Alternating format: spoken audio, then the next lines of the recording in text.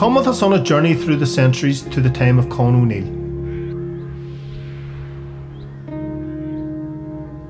His story is the tale of the twilight of the Gael.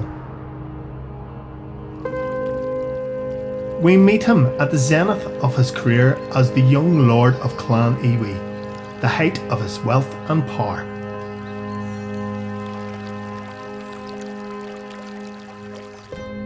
Then, like a tragic Shakespearean hero, we behold his gradual decline to dispossession, ignominy,